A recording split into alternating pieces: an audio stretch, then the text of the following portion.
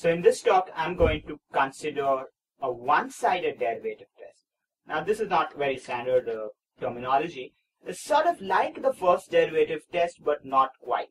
So the first derivative test, which you probably have seen, is used to figure out information about local extrema of the function based on the sign of the derivative, the sign of the ordinary two-sided derivative on the left and the right of the point. Right?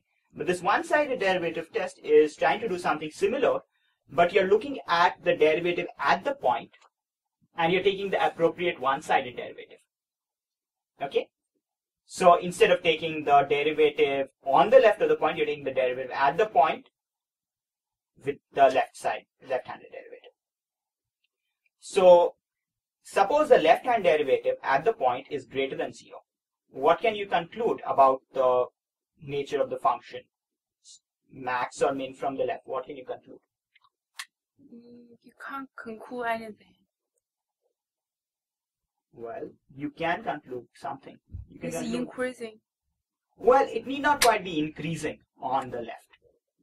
Right? But it will still be max from the left. The value at the point will be bigger than the values on the immediate left. Let me write that down.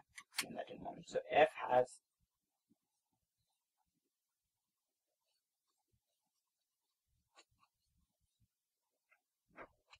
So in another video, I actually went from this direction to this direction, from here to here. But when I was going the other direction, I had to also include the case of equal to zero. hmm Uh, because we couldn't rule that out. But now we're going this direction. So we actually make a strong assumption. That the derivative is strictly positive, forces the function to have a strict local max from the left at the point. Why is that? Well, let me just write it down here. So, what are these one-sided derivatives? They are the limits as x approaches c from the left or the right of fx minus fc over x minus c. So in the other video, we actually sort of looked at this as a starting point and we concluded something like this. We put an equality sign assuming it exists. So the reasoning here is going to be pretty similar.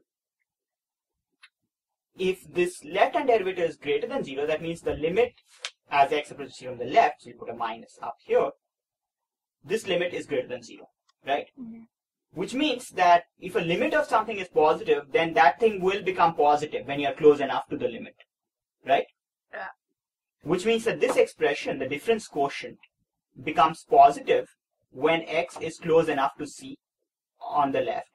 Which means that for x close enough to c, the denominator we know is negative, right? hmm The numerator therefore has to be negative, which means fx is less than fc for x to the immediate left of c. Okay. And that's why you get the strict local. Okay. We are not claiming that f. We are not claiming that f is increasing on the left of c. Okay, because we are not comparing value values which are both to the left. We're just comparing c with points on the left. We're not comparing points on the left with each other. This one, what should the conclusion for this be? If this, if the left-hand derivative is less than zero, straight mean Yeah. from the left FC. you can sort of think like it's a decreasing function, but you can have examples where it's not actually decreasing and still satisfies this condition. What about the left-hand derivative being equal to zero? Hmm? Mm. Well, it can be either a local max or lo- local min. Or neither, it could be some sort of oscillatory thing, anything. So it's completely inconclusive. Okay? Maybe local max, local min, neither.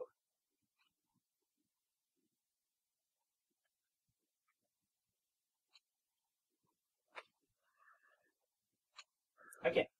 The right hand derivative being positive. Well, that will be a strict local min.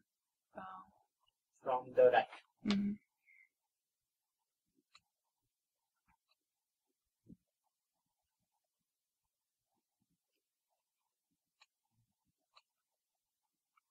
And you could do the same type of reasoning, right? If the right hand derivative is positive, that means that this limit as x approaches from the right is positive, which means this difference quotient becomes positive for x close enough to c. The denominator is positive, so that forces that the numerator should also become positive for x to the immediate right of c, which means fx is greater than f of c for x to the immediate right. And so you get this. Let's write this one. What should this be? Have a strict local maximum from the right of C. Yeah. Sort of, again, the intuition is that it's kind of decreasing, but that's not quite the case. I mean, you cannot conclusively say it's decreasing on the immediate right, but that is kind of the intuition. And what about the right-hand derivative being zero? Incon- inconclusive. Inconclusive. Could be anything.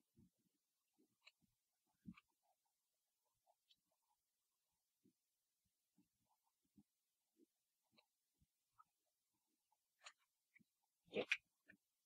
Great. Let's just uh, quickly do combined sign versions. Down here. Mm. So left hand derivative, right hand derivative, and what's the conclusion? So let's say positive and negative. What what's the conclusion? That would be a local maximum. Yep.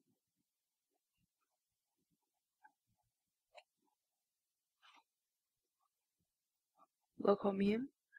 So this looks a lot like the first derivative test, right?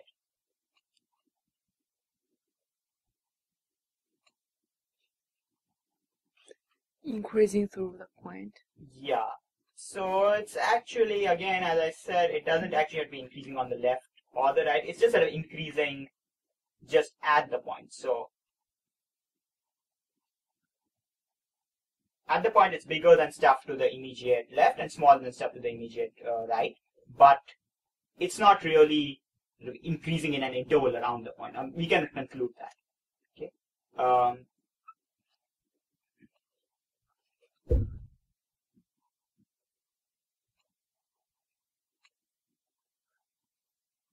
So how is it different from the, are we here? Yeah. How is it different from the first derivative test? How is this test different? Yeah. Uh, not sure. Well, what, what, what does the first derivative test look like? and What, what's different in the first derivative test? You, for the first derivative test, you are looking at the sign of the ordinary two-sided derivative on the left or on the right of the point. Here you're looking at the sign of the one-sided derivative at the point. Okay? So that's different, right? Oh, yeah. Well, then what does this difference make a difference? How it makes a difference? How does it make a difference? Well, there are situations where this test is inconclusive, but the first derivative test works. Why? If the derivative at the point is zero, which is the typical situation for differentiable functions, right? The derivative being Mhm. zero at a critical point, then the one-sided derivative test is pointless. It doesn't give you any information. Okay? Whereas the first derivative test, which looks at the sign of the derivative to the left and the right of the point, usually does give you information even when the derivative at the point is zero. Okay? So for instance, if you're dealing with polynomials and you're trying to figure out whether certain critical points give you local extreme values, for polynomials, the critical points will always have this situation. Mm. So this test is useless for polynomials, whereas the first derivative test is always going to conclusively establish whether you have local max or min or neither. Okay, so the first derivative test has has applicability to some situations where this is inconclusive.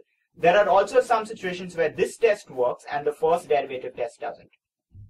You could have some kind of functions which are oscillatory on the immediate left or right, or they are not continuous enough on the immediate left or right. So if you recall all the various of the first derivative test can fail, you can construct some examples where that test fails, but this one actually is conclusive. So each test may be applicable in some situations where the other one isn't.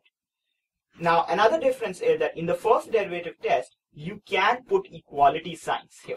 Right? So here you can put equality signs and you just lose strictness. right? hmm Whereas in this test, you cannot do that. If you put equality sign here, then it's not just that you lose the strictness, you actually get in the inconclusive case. hmm Okay, so the equality sign cannot be included here. So that's like another minor difference. Because the first derivative test, you're looking at the function on the immediate left, and you're allowed to be zero there.